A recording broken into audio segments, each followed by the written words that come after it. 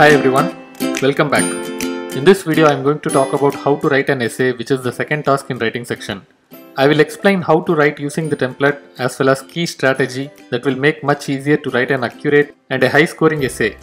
The most important thing to understand about the essay task is that it needs to be done according to the PTE specific format.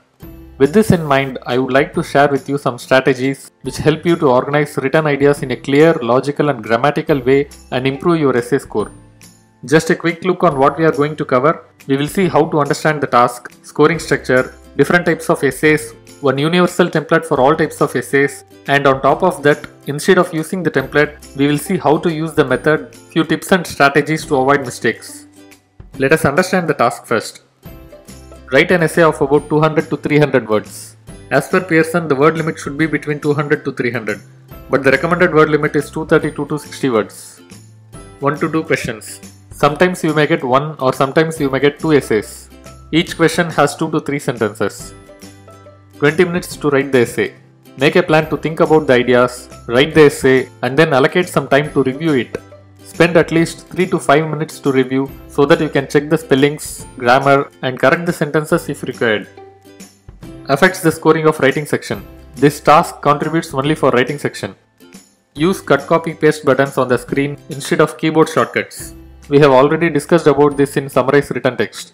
Don't use keyboard shortcuts as it will not work properly. Use the one which is shown in the screen. This is how it will appear in the exam.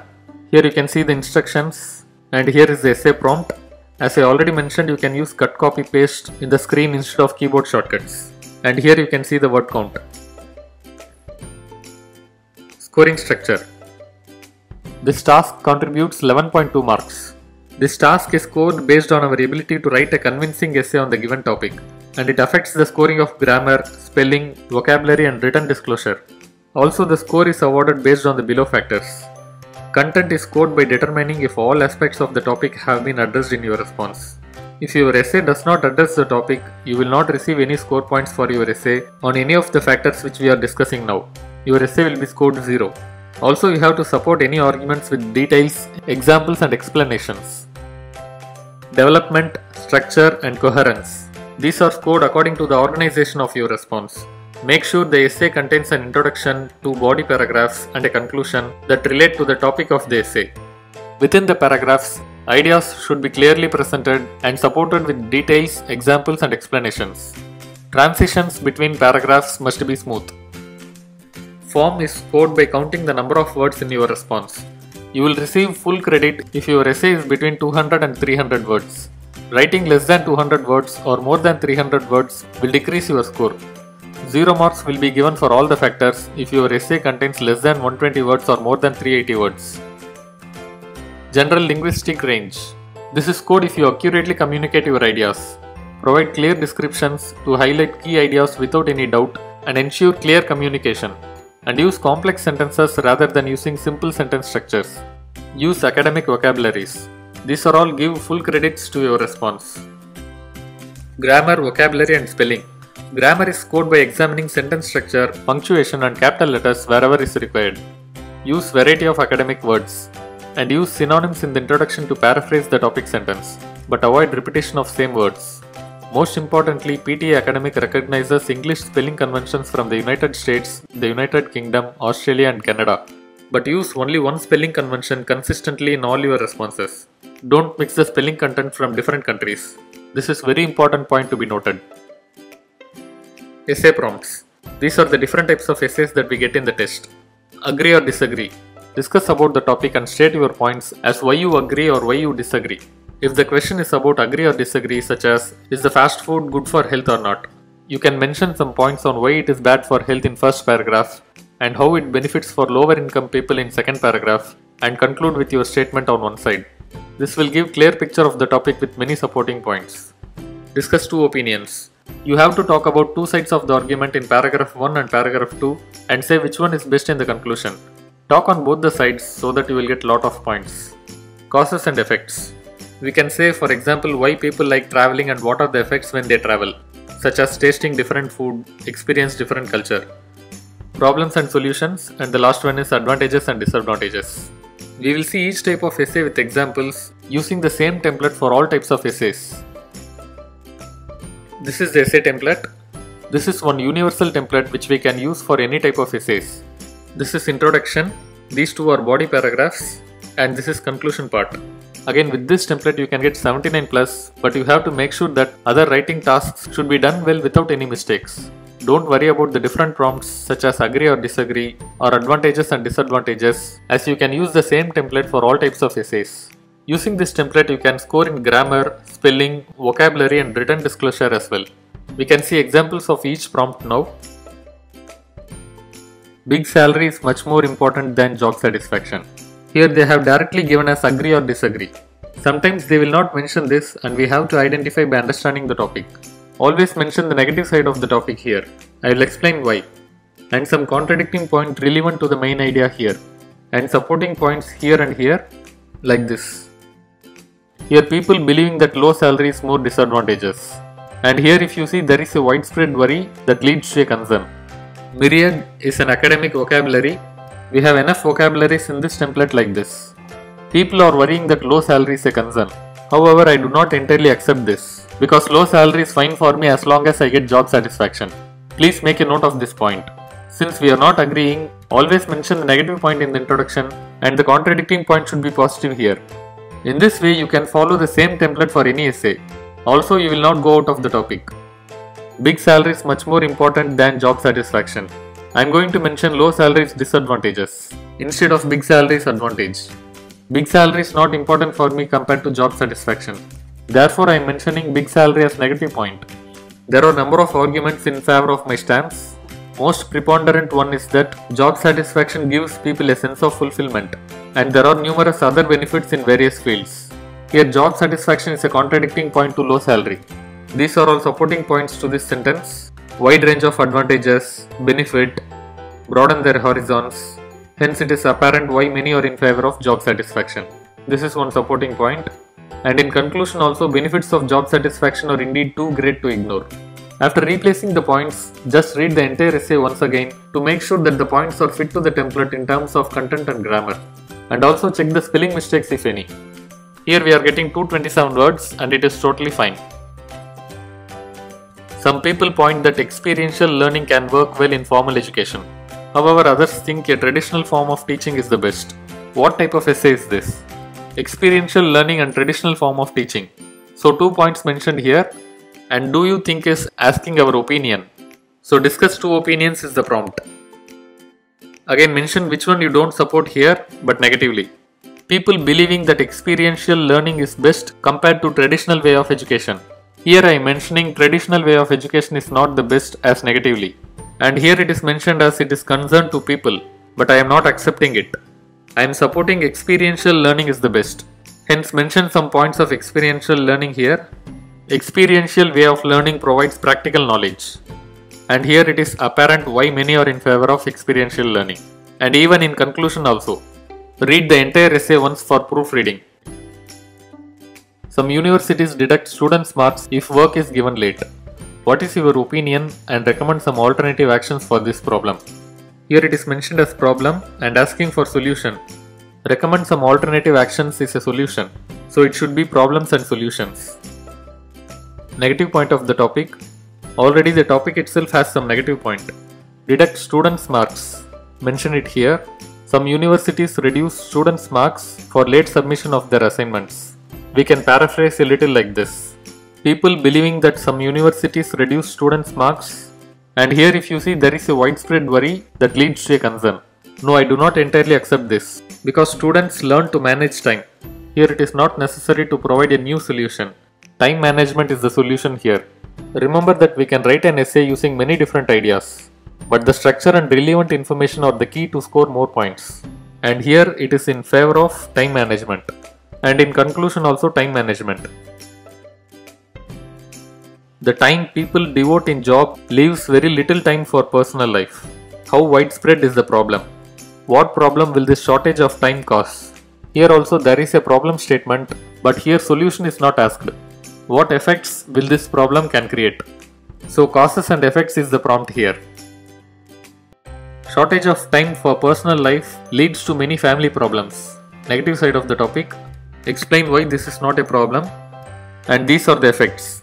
In long-term perspective, one can achieve high standard of living, variations in lifestyle, luxurious life with the family. Positive effects. There are negative effects as well such as disputes among families, stress and depression due to lot of work, but that is not required to mention. And here mention why many are in favor of supporting point, spending less time for family.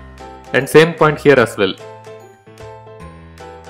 Next is advantages and disadvantages.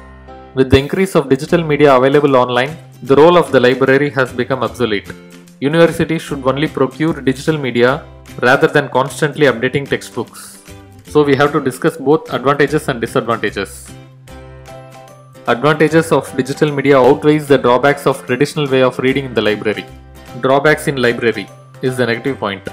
So the contradicting point is digital media provides latest information in one click. Therefore many are in favor of digital media. Simple. So this is how we have to use the same template for all types of essays. Read the topic, write the template quickly in the text box and then modify the topic sentence and supporting points. Finally verify if everything is correct. However, if you still have dilemma whether you can use the template or not, you can use the method which we will discuss now. But before moving on to the method, we will quickly see some tips and strategies to avoid any mistakes and utilize the 20 minutes time wisely. Plan your ideas before start writing. 2 minutes to read the topic and plan the structure. Before you start writing, you need to plan what you are going to write. Read the topic and plan your ideas for the first 2 minutes. Gather some relevant points, your experience related to the topic, and some supporting points if any. Take 15 minutes to write and review in the last 3 minutes. This will save you from having to stop and restart from the beginning. Check the grammar and spelling mistakes if any. You have to read the entire essay word by word to make sure error free and get full points in grammar and spelling. Always use the structure and limit the number of lines. Introduction, two body paragraphs and a conclusion. This will do to write around 230 to 260 words which is more than enough. But how will you check if you will be able to complete your essay within the word limit? Though you can see the word count at the bottom, when you complete the first body paragraph itself, sometimes you will be reaching around 180 to 200 words. Therefore limit the number of lines for each paragraph. Introduction, not more than 2 lines. Body paragraphs, 3.5 to 4 lines each will do.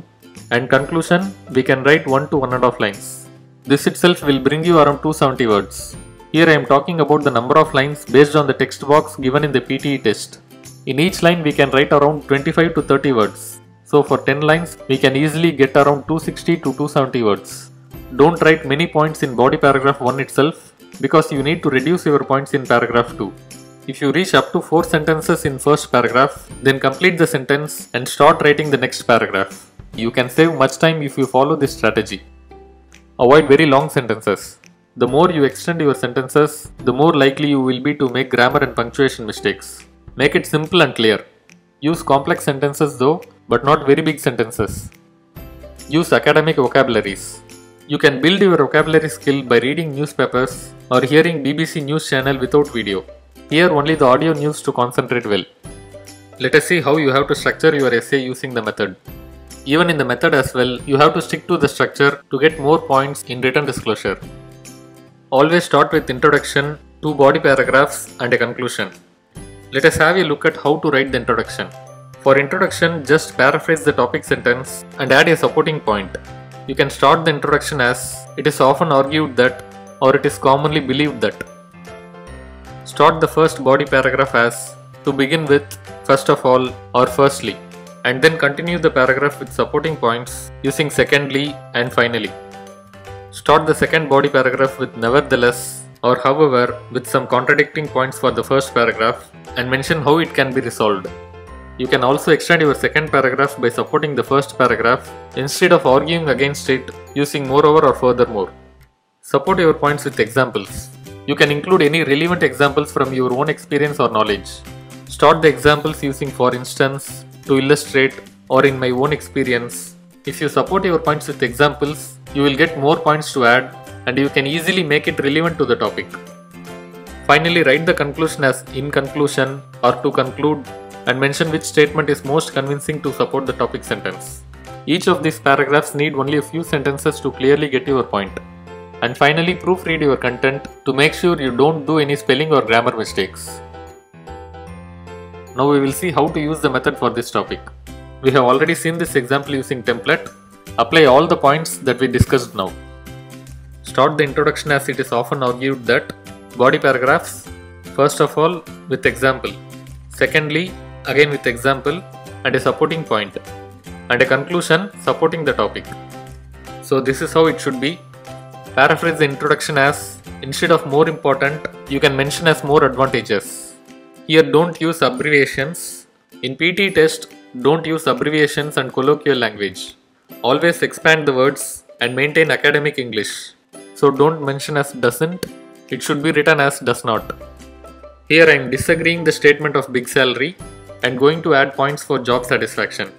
These are the supporting points with examples and here I have mentioned about my experience and this is the conclusion part. Here I did not use much vocabularies but use at least few words. So this is how you can use the method and don't forget to proofread your essay. And always allow one space between each paragraph. This is not mandatory but leaving one space will be good to show the completion of the paragraph. Moreover, you can use delete or backspace button anytime. That is not a problem. You can correct your content until you write error-free essay. So with this content I got exactly 260 words and it is more than enough. Okay, I will just show how many lines we will get for 260 words in the real exam. This is Road to PTE which is very good website to practice all tasks and you can get real exam feel. Now I am going to paste the same essay in this text box to show how many lines we will get for each paragraph. So here one and a half lines for introduction, 3 to 4 lines for body paragraphs and 1 line for conclusion and we got 260 words. This is how you can limit the number of words based on the number of lines. Okay, here are some sentences that I have gathered from some sample essays. This helps to bring you some ideas related to the topic using which you can build your own points. I always add two or more sentences from this in my essay, which save my time while thinking about the ideas. Brush up these sentences before going to the exam and try to remember as much as possible. I will share few essays in my next video which I used to brush up before going to the exam. Using those sample essays, we can create any content out of them and save time to think about ideas. That's all I have for essays. So use the 20 minutes time wisely for understanding the topic and plan your ideas in the first 2 minutes, write the essay within 13 to 15 minutes, review and correct it in the last 3 minutes. Also write only a maximum of 10 lines. Introduction 2 lines, body paragraphs 3 to 4 lines each and conclusion 1 to 1.5 lines. Along with checking on the word count, you can count the lines and structure your essay in this way. Paraphrase the topic in the introduction, highlight the supporting points and contradicting points in body paragraphs with some examples in your own experience, and then conclude with some solution or on one side of the topic, depends upon what type of topic that you get. Remember that anyone can write the essay within the given time frame if they have the right tools. I hope with this information writing an essay will be very easy for you. Thank you for watching this video till the end. As I mentioned earlier, I will upload another video with different types of essays very soon. Thank you very much.